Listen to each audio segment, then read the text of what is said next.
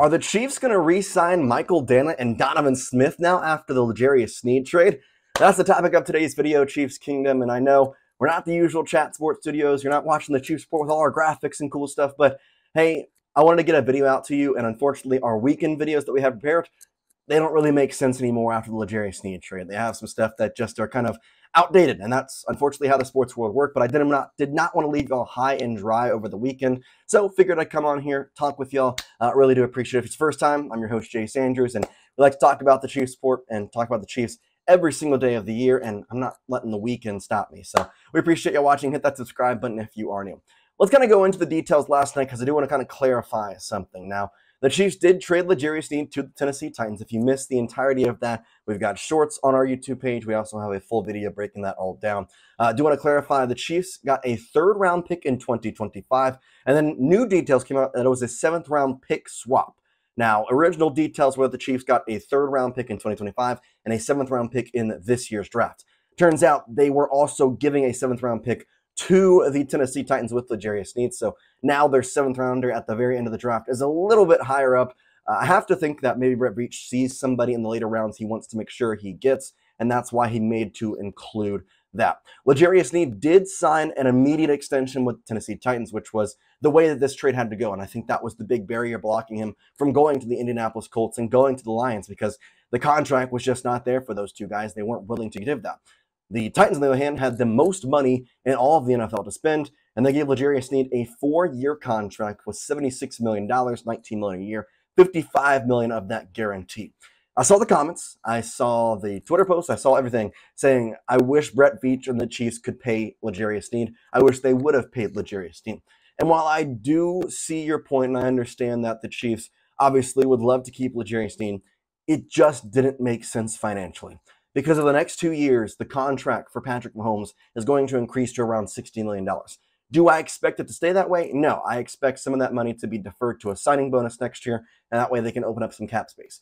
Same thing with Chris Jones. He's going to be a cap space hit of over around $30 million next year. Uh, and so with that, the Chiefs obviously not going to have a lot of money to spend next year.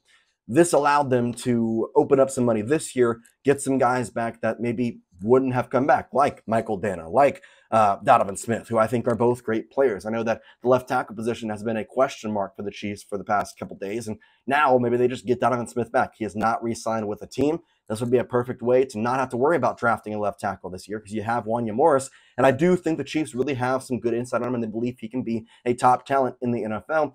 I just don't think he's there development wise yet. So I think that's where that has to sit. Now, I will say with the numbers here, Sneed, $19.8 million on the franchise tag. That now goes off the Chiefs cap space. So, how much money do they have? Well, according to Pete Sweeney, it's around $27 million in cap space heading into this 2024 season. $8 million or so will be what the Chiefs will probably have to spend on a draft class. So, I kind of have the question again would you want to see a re signing of Michael Danna or Donovan Smith? Is that something that you would want to see? Or would you rather the Chiefs spend money on different players that maybe weren't on the Chiefs last year, like a Justin Simmons, like a Xavien Howard to help increase this cornerback room? Or maybe do you increase the cornerback room in the draft? Well, now's your time to chime in because I want to ask you do you see the Chiefs using the money and signing somebody from out of market or from internally in the Chiefs team like Michael Danna or Donovan Smith? If you think it's going to be Danna Smith or somebody that was on the Chiefs last year, I want you to type I for internal. If you think it's going to be somebody who maybe didn't play with the Chiefs last year, like an Xavien Howard, like a Justin Simmons, then I want you to type E for external for somebody that was not on the team next year. So now's your time. Get down in the comment section. Which one do you think that will be? I personally think they're going to try and keep their guys home because we know that last year, the only true pop problem with the Kansas City Chiefs was their wide receiving corps. Hollywood Brown, I think, has done mounds and mounds of damage to that. And I truly do feel like the Chiefs, without drafting a wide receiver right now, could easily go for a three-peat and feel pretty comfortable with this team that they have. That being said, I still do think they will draft a wide receiver in the first round. And so now it's about getting everybody else in line. Your cornerback room is pretty trusted. I think Jaylen Watson is a really, really great player. As a CB2, I really think he's going to perform well. And he honestly had a higher PFF grade at the end of the season than L'Jarius Sneed. I know people want to forget about that, but Jaylen Watson was an exceptional player last year, and people do not realize how good he was because guess what? The Chiefs' cornerback room was the best in the NFL. When you have a guy like L'Jarius Sneed, who is regarded as one of the top cornerbacks in the NFL, and yet the only other guy who I would consider be competing with him for that top spot is on the same team, and it's Trent McDuffie. Those two guys were exceptional. Guess what? Jaylen Watson was also exceptional. And I'm going to go to uh, a couple of different guys on Twitter said this. The Chiefs would not have traded L'Jarius Sneed this year. They would have kept him on the franchise tag. They would have gone out and said, "We're going to keep you this year and got nothing for you in the next year because we believe in you and we don't have anybody, anybody behind you." They trust in Jaylen Watson. They trust in him to be the guy that he is supposed to be. And I still do feel like maybe they draft somebody in the third, fifth, sixth round of this year's draft to help kind of bolster up that cornerback room. Maybe they trade up and get a sixth round pick if they haven't got somebody there yet. Because right now, their draft picks are a first round pick, a second round pick, a third round pick, a fourth round pick, two fifth rounders, and now one seventh round pick that has been moved up. Again, the original report was that the Chiefs got a seventh round pick. In addition to it, it was actually a pick swap. So now their seventh round pick is near the top of that seventh round.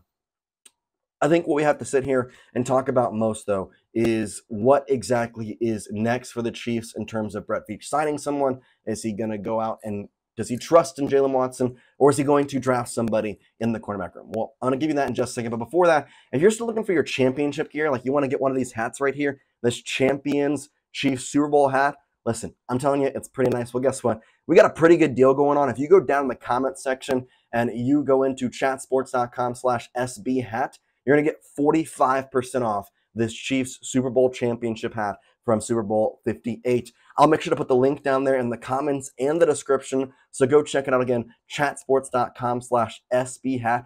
45% off, guys. 45% off. So you haven't gotten the hat yet, I promise you, it's pretty stylish. I mean, I like it myself. So make sure you go check that out and get that again, 45% off. Chatsports.com slash SB hat. Link will be in the comments and the description of this video. Okay, if you want my opinion on what the Chiefs are going to do in the draft right now, I'm sure we'll have mock drafts. I'm going to have some updated draft targets throughout the week. We're going to be on top of all this going forward. But initial thoughts here from what I'm hearing on Twitter, from what I'm seeing in the Chiefs locker room, I truly do think that they're comfortable with their cornerback room, at least enough to the point where they're not going to draft a cornerback in rounds one or two, unless somebody that is, say, Cooper DeJean falls to 32, you're going to take him. If Nate Wiggins falls to 32, you're probably going to take him. If Kool Aid McKinstry falls to 32, you might take him.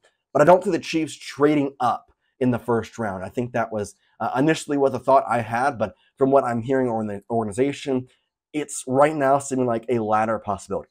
Not ruling it out. I think that that could become a higher likelihood in the coming days, maybe maybe the reports early on are, are, are, false. We don't really know. We're just trying to make sure that we get all the information here. But I still think like round one will be wide receiver. Round two will be left tackle if the Chiefs do not re sign Donovan Smith. That changes a lot if Donovan Smith is re signed because in that case, I think they actually might go cornerback in round one because they can get a pretty good wide receiver in round two with a Devontez Walker, a Brenden Rice, a couple other guys who I truly do feel will be available at 64 plus the Chiefs are kind of stockpiling picks in 2025. There's a chance that they can make a trade on draft night to go get somebody they want. We've seen that Brett Veach has done that before. Uh, flashback to Patrick Mahomes and the Buffalo Bills trade. Veach is a very good drafter, and I trust him with my heart that he's going to get out and make sure that he gets the right per, right person or right people for the job in Kansas City going for a three-peat. And I really can't speak to what he what he's going to do because I think his football mind is far and above maybe anybody in the NFL, and certainly more than me. I, I love what I do, but I, I definitely don't compare my football knowledge to Brett Veach as much as I would like to say I am. But uh, yeah, there's a lot of questions still up in the air, and we're going to have to kind of figure them out as we go. But here's the good news we're going to have reports, we're going to have amazing stuff all right here on the channel. So any type of rumors like this video where Mike Danna and Donovan Smith will resign, I want to get a video out to you and kind of go through this L'Jarius Sneed trade again well, guess what? That's what we're doing. So make sure you hit that subscribe button because, again, more and more content are going to come out. Any report, rumor, news article, whatever, uh, we're going to have it here on the Chiefs Report. We do certainly appreciate you watching. Once again, I know we're not in the chat sports studio, but hey, you made it to the end of this video, and I cannot tell you how much I appreciate it because that makes me know and feel truly loved because you're a real one. You're watching this without all the graphics. You're watching it because you want to talk ball with me And I cannot tell you how great that feels and how thankful I am to have y'all. So we really do appreciate it. Now, Chiefs Kingdom, peace out.